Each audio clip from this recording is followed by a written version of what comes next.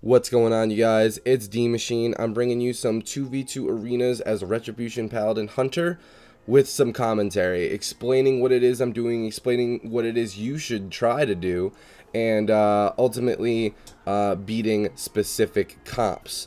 Now, I'm going to show you my talents and I'm going to show you my glyphs here so you know what the baseline is for talents and glyphs and then I'll, for each comp, I'll tell you what it is you should change and how to utilize the changes that you make to your glyphs and talents. So let's jump right into it. Okay, so the first game is Rogue Boomkin. The best kill target for this team is going to most always be the Boomkin. Rogues have a number of abilities to survive like Cloak, Feint, Vanish, Evasion, and even Combat Readiness. Um, when you kill the Boomkin, um, you need to kill him within 30 seconds of the match or Heart of the Wild is going to literally save them because you're going to run out of stuns and silences. Um, if you see them running away and stabilizing, stay alive as long as possible. Uh, the ideal situation from that moment on is to turtle until your cooldowns come back. Now, a good team, especially a good rogue, will not let you wait this long. So definitely try to get back on the Boomkin if they're not letting you uh, wait that long and force the Boomkin defensive once again. A uh, quick tip for this game is to Aura Mastery the Druid's Beam. Um, I always run Divine Protection Glyph for this team and Burden of Guilt Glyph, so the Boomkin can't kite me nearly as much, and my wall also negates some of the rogue's damage as well. Warrior Hunter. This team brings a lot of fucking damage. Your kill target is Hunter here. Warriors can live an extremely long time if they rotate through their defensive cooldowns well. As a Ret Paladin versus this comp, you will almost always be the kill target. But because a good Hunter will try to control your uh, your partner, I stick with Clemency to get for the two bops and the two sacks to get them out of traps and scatters. Uh, warriors are extremely reliant on crits uh, for damage. So utilizing your Hunter's Roar of Sacrifice on you is very important. Use it when you see Recklessness. Burden of Guilt, uh, the glyph will help you uh, prevent the Hunter from kiting.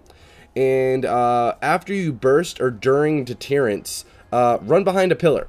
Think about the strengths and weaknesses of each comp right here. Warrior Hunter have a lot more sustained damage than Ret Hunter. In a longer game, Warrior Hunter will win because of this. Avoid as much damage as possible when the hunter cannot be killed. And then when the hunter's out of deterrence, go ham and try to get him killed. Think of it like there's a stopwatch and you're being timed to get this game over with. Resto Shaman Warrior. The, the kill target can either be the Shaman or the Warrior, but knowing what's best for your team is key.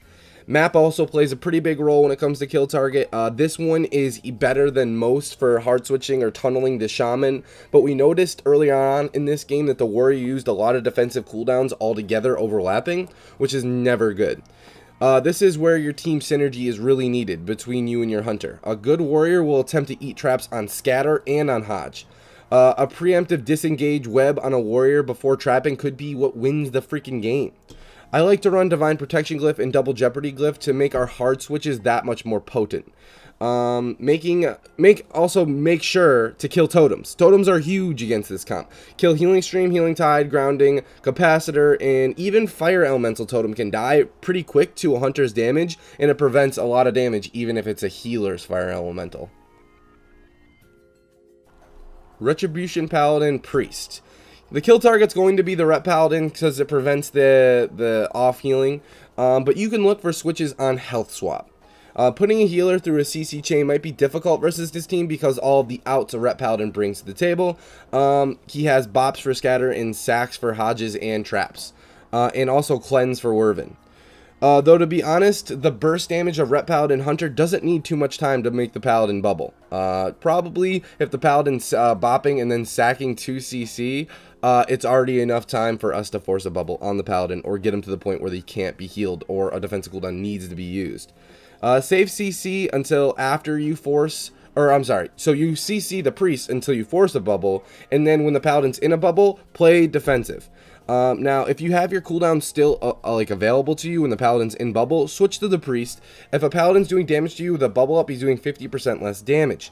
So, uh, just getting those Holy Avenger procs as a Ret paladin will keep you alive, no problem, with a paladin who's in a bubble.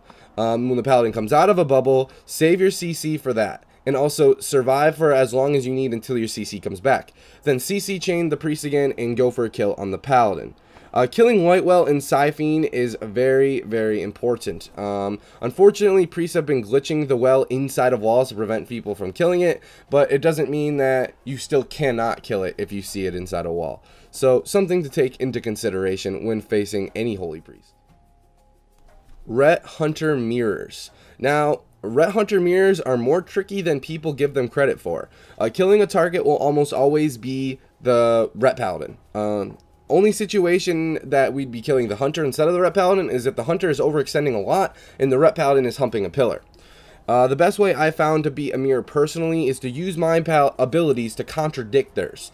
For example, in this game, I lured them out uh, and I they used all their offensive cooldowns when I wasn't in melee range of the Ret Paladin. I walled and Hannah pet sacked me to prevent me from bubbling. If they don't force a bubble on their offensive cooldowns, you are very far ahead. But this strat will this strat will not work if your partner is in CC. So make sure to bop and sack them out of CC.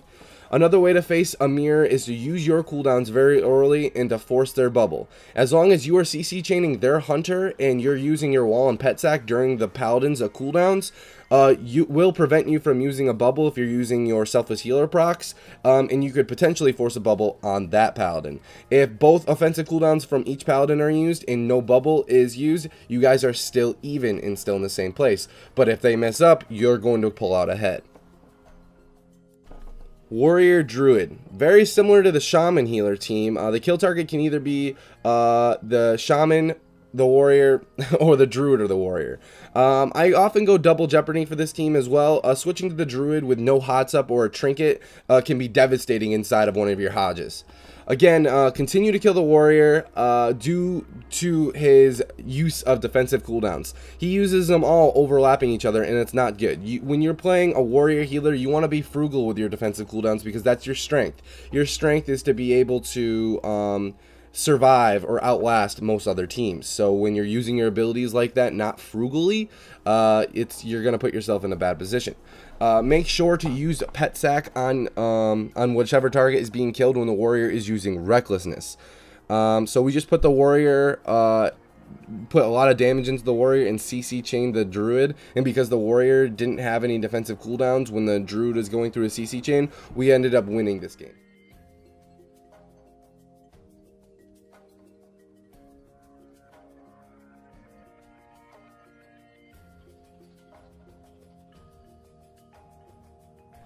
Mage Shadow Priest. The kill target's going to be the mage to prevent like polymorph spams or icicle buildups because they build icicles when they uh, spam Frostbolt. Uh, Pet Sack is huge in this ma matchup, guys. Uh, Roar of Sacrifice uh, reduces crit chance by 100%, and if you don't know how mages work, they rely on crit greatly with their Fingers of Frost procs. Uh, their procs that they get from Orb or Deep Freeze. Uh, using Sacrifice at a good time versus this team is bananas important. Uh, I like to use the Bubble Glyph because it heals me for every debuff I have on you.